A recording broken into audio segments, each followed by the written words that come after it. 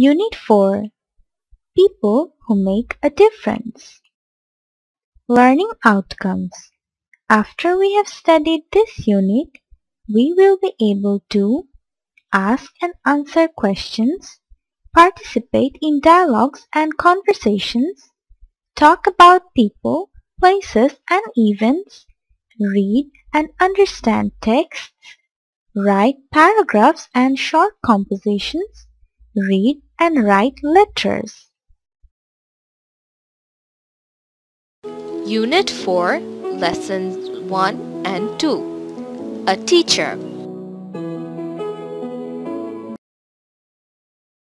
What can you see in the picture 1?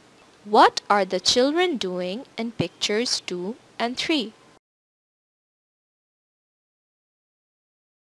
Read the text in A of the lesson 2 and answer the following questions.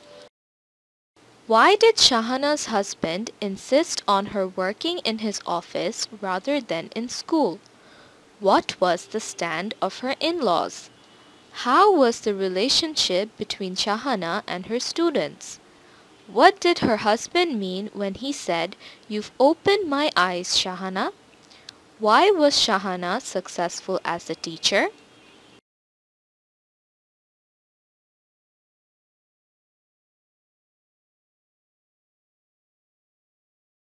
Click on each word. Insist. Mother insists her baby to drink a glass of milk. Meaning, to demand that somebody agrees to do something. Admire. We admire our freedom fighters for their dedication of the country.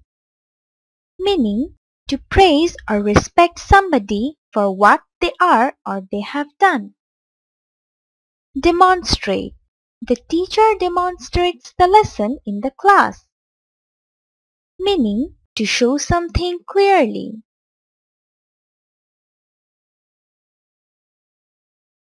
Inspire. Mother inspires her daughter to do better in the exam. Meaning, to give somebody the confidence to do well. Read the text. One of your friends studies in another school. You want to know the following information from your friend. Now make some questions and ask him or her to get the following information. What is the name of your school? Where is your school located? How many teachers are there in your school? How many students are there in your school? When does your school start? What time does your school close? What is the name of your head teacher? Now write a short paragraph on your friend's school. You can use the answer of the questions you have just asked and answered.